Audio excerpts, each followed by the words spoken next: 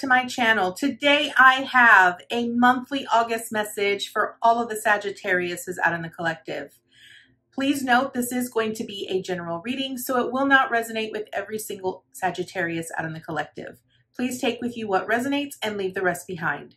If you are new to my channel, welcome to Eileen into Spirit. My name is Eileen Rouse. I'm a psychic intuitive, spiritual coach, and I provide you with guidance, wisdom, and inspiration every week right here on this channel. Without further ado, let's get into your message, Sagittarius. All right, Sagittarius, you know the drill. We're going to do a nine card draw. We will clarify our deck if we need to with a separate deck. So let's get shuffling angels, archangels, guides, ascended masters, what information and what insight can you offer Sagittarius this month? What information and what insight can you offer Sagittarius this month? Thank you. Mm. What information and what insight can you offer Sagittarius this month? What information and what insight can you offer Sagittarius this month? Sagittarius, I feel like you are kind of stuck on your path. You don't know where you're going and you're not sure if you're moving in the right direction. Hmm.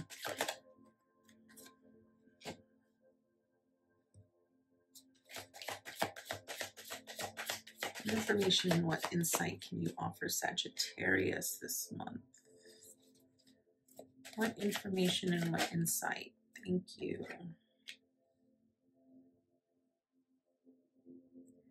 What information and what, ins what information and what insight can we offer Sagittarius this month? What information and what insight can we offer Sagittarius this month? What information and what insight can we offer Sagittarius this month?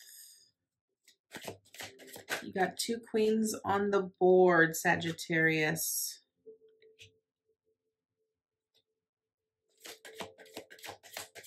That means it's a good partnership.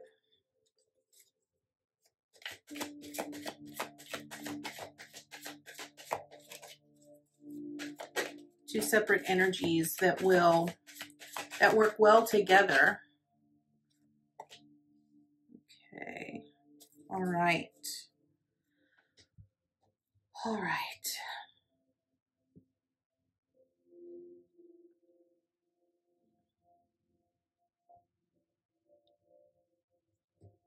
All right, Sagittarius. Um, I've gotten a pretty good look at this, so let's get right into it, shall we? All right, so Sagittarius, where you currently are this month, you are at the Three of Wands in reversed. So kind of what I'm feeling with this um, reversed, as I mentioned earlier, you're sort of feeling unsure. You're not sure if the path that you have chosen for yourself is the path and um, you're unsure if you're going to even fulfill it, like if you're even going to get there, right? Um, I sort of feel like you've kind of given up. You've given up hope a little bit. Um, I'm going to draw a clarifier for this because I want to see what they have to say. So, angels, archangels, guides, ascended masters. Why is this three of wands in reverse here for Sagittarius? Why is this three of wands here in reverse for Sagittarius? Why is this Three of Wands in reverse here for Sagittarius? Why is this Three of Wands here in reverse for Sagittarius?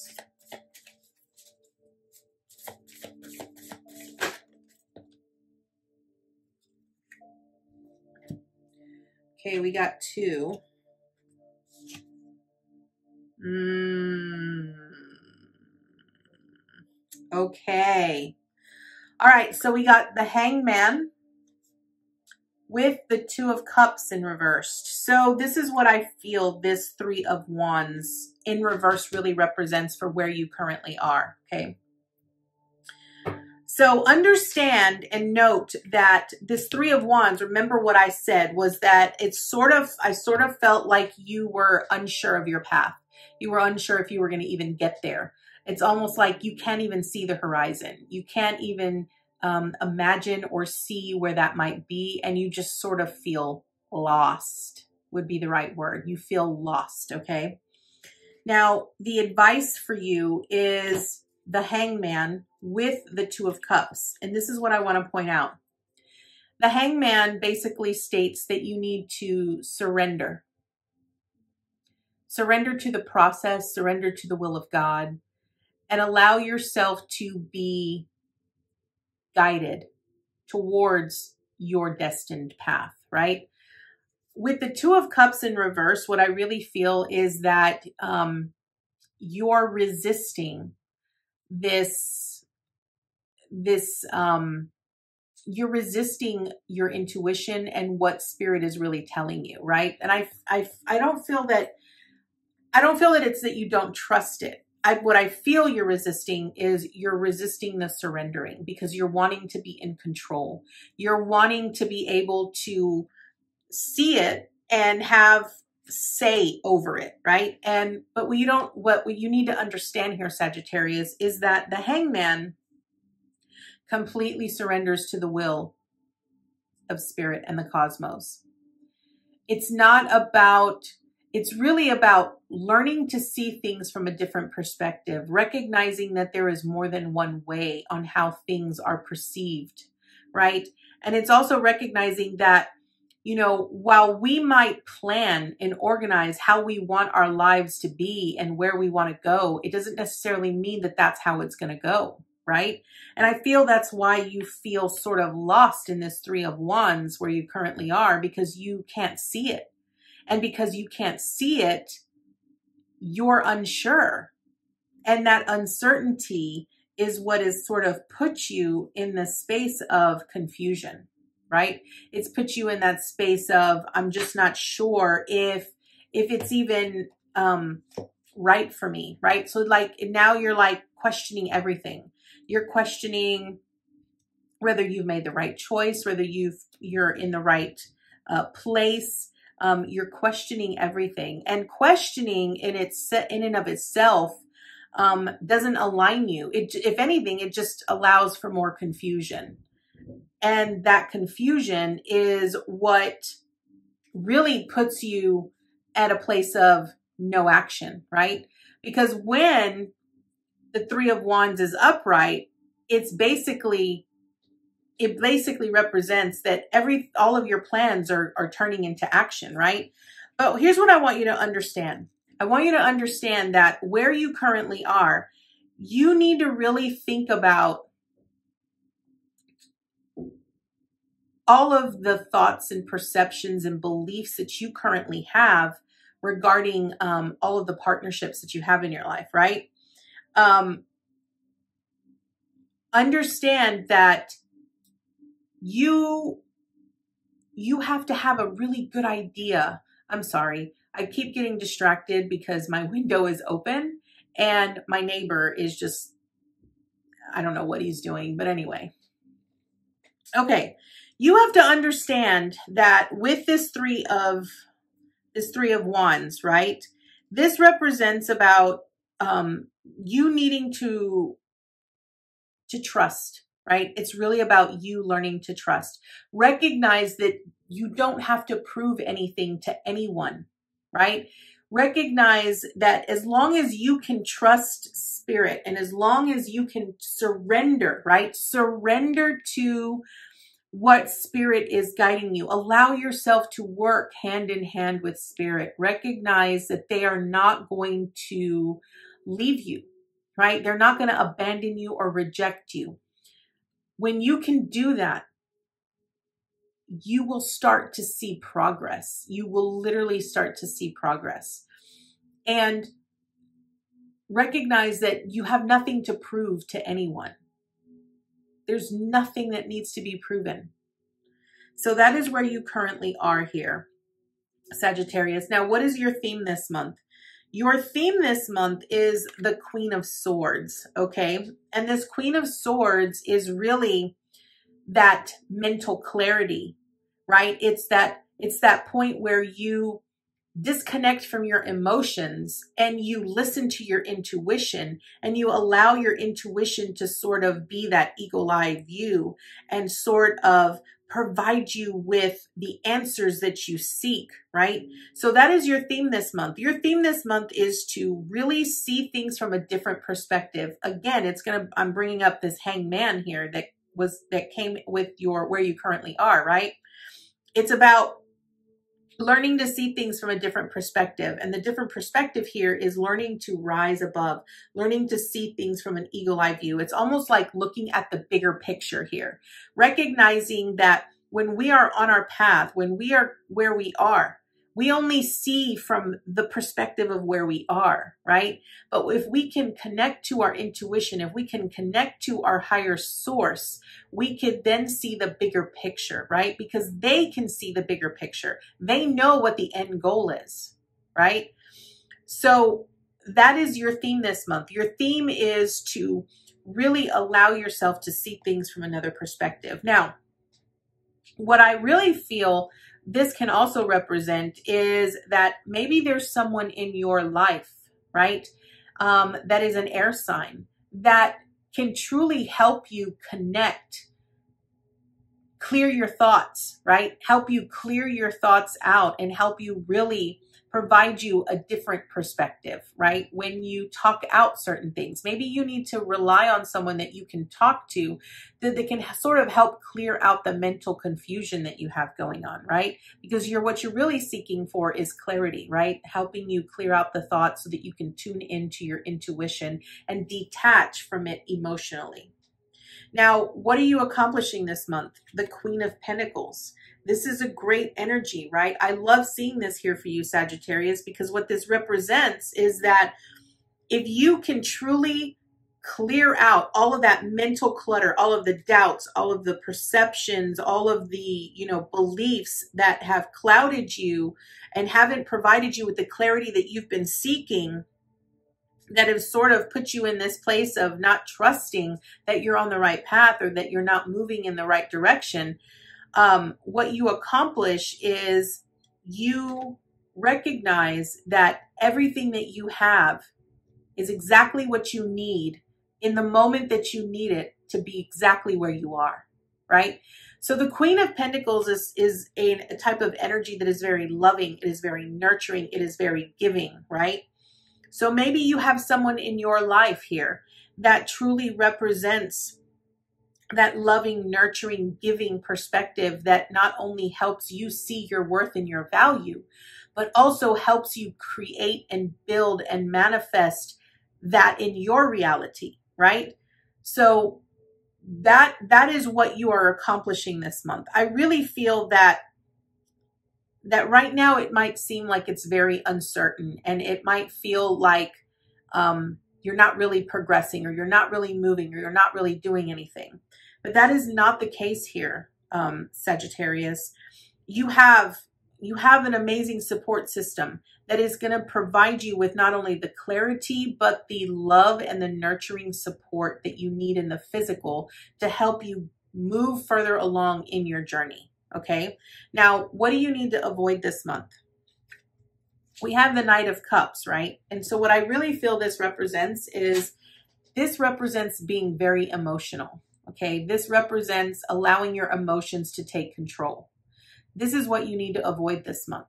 You need to avoid um, any opportunity that presents itself to you that allows your emotions to completely take control. Remember, your theme is the Queen of Swords. And with this with this theme, the Queen of Swords is detach emotionally and use your mental and intuitive intellect to guide you, right? So what you're needing to avoid is allowing your emotions to take control. That's what you need to avoid. Now, what do you need to embrace? I love this. You have temperance, right? What you're embracing here is the angelic guidance and wisdom that you receive from your angels and from spirit, from wherever you gain it from, right? That is what you need to embrace. You also need to embrace that you are a work in progress, right? What I love about temperance is it speaks about alchemy. It's taking one thing and changing it into another. You're con- you're changing it into different. So it's making water into wine, right? So it's changing water into wine. So the alchemy of that is the transformation from one thing, one form to another. Embrace that. And also, the one thing I keep hearing here is be patient. You don't plant a seed one day and it magically grows overnight, full bloom the next day. It takes time. What does it take? It takes time, it takes clarity, it takes nurturing, and it takes time for it to to build and to to grow into who it truly is, right? And that's what this is. You need to be more patient with yourself. Recognize that while you're on this path, while it might seem like you're not really moving, trust and know that you are. It's just, it just feels like you're not. Okay.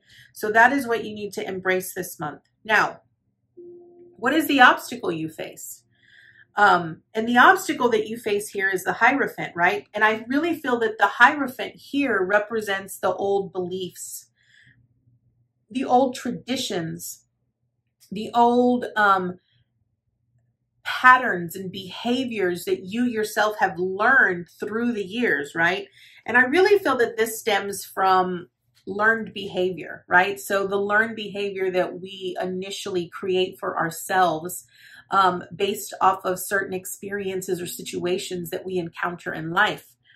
And I really feel that the obstacle here is you learning a new way of doing things that you're having to really relearn not only your beliefs and your perceptions, but you're also having to learn a new way of being. And that can be very challenging. And it and and we naturally have that instinct where we want to gravitate to our old ways and our old patterns of how we used to be and and who we were, right? And I feel that that's the obstacle. You're going to feel like like a part of you is missing because you're releasing the old aspects of yourself as you transition from one phase of your life to another. Okay, so that is the obstacle that you face. Now, what is the support that you have this month? The support here is the tower, right? And what the support is in the tower is that there is light in the midst of darkness, right? Even though things might seem chaotic and it might seem like things are falling apart and nothing is foundational or stable anymore, you need to learn to see the light through the chaos. Understand that sometimes when things fall apart, they're meant to fall apart to build a better foundation they're meant to fall apart because spirit knows best, right? It's often where spirit can see the bigger picture. And so they see that the path that you're on isn't fulfilling you. And so they allow it to crumble and fall because you're meant to have a better, sturdier, solid foundation. So your your support here is seeing the light through the darkness. Now, what is your action this month? Now, we have the Five of Wands here. And a lot of times when people look at Five of Wands, they look at it as fighting, but I don't really look at it that way. What I'm seeing here is, is collaboration, change, right? Like, so you're having to change, right? So your obstacle is changing your old patterns, your own beliefs, your own behaviors, your old behaviors of how you used to do things, right? And because you're having to do that, you're having to learn. So this Five of Swords is really about working with others, training. It's about learning the new way of being and how it works for you, right? So a five really represents change, changing and learning and understanding what certain things mean and what they represent to you and how you build upon that, right? Because this is about them building. They're building something to help them achieve something, right? And you have to work with others, right? And this also means working with your spirit team, right? It means that you have to learn how to work with others and learn how to collaborate together so that you could build and and and rise to that higher aspect of who you are. Now, what is your advice and encouragement? You have the page of cups, okay? And what this really represents is that this page, the advice and the encouragement here represents that you are meant to learn how to love yourself in a way that is brand new. That's what this Page of Cups really represents, right? It represents a new energy, a new way of loving yourself that you are very unfamiliar with. And this is your advice and encouragement. That is why you are being led where you're being led. It is why you are where you are, because where it's leading you is a new way of loving yourself wholeheartedly and unconditionally. so, Sagittarius, that is your message this month. Um, I am going to draw an additional card just so that I can see what additional advice and information Spirit and the angels have for you. So, angels, archangels, guides, ascended masters, what additional information and insight do we have for Sagittarius this month? Okay, that came out right away. And we got, oh, I love this. Create space. I absolutely love this. Now, Sagittarius, this is a 38, which represents an 11. And an 11 truly represents you and represents that you are connected to all that is. It's sort of like an awakening code. You are awakening to this higher aspect of who you are that is learning how to love yourself purely and unconditionally. So let's read what the book has to say about create space. All right, here we go. Create space. Make room for your dreams. Create a space for new desires by learning how to be happy now. We all want certain things in our life to change, and it is up to each of us to do something about it. If you apply action from a position of truly wanting change, you will create evidence of that desire as manifestations of change. Once you notice something you would like to change, take a breath and say thank you. Recognizing what you want to change brings you more clarity on what you would like to change it to. Your job is to create the space for your dreams and desires to fill. Do this, and you will begin to receive direction and wisdom. Create this space by coming into balance, meditating, focusing on the moment, or thinking of a person, animal, place, or situation that makes you smile. Feel the smile stretch through your body and relax, knowing that all you desire is on its way. You have empowered your whole being because you don't need conditions to change to feel joyous in the present. You are bathing in unconditional love. Breathe it in and enjoy how good you feel. Sagittarius, this is a beautiful, profound message for you. I hope that you were able to gain lots of great, amazing information and golden nuggets this month. I know that it might feel like you are not in a very good place, but from where I sit and from what I see before me, the old part of you is changing into a newer version of yourself that you are very unfamiliar with. But I promise you that if you allow yourself to connect to your intuition and detach emotionally, you will be able to see miraculous miracles appear in your life. Thank you so much for joining me, Sagittarius, and I look forward to seeing you next month with your new message. Namaste, guys.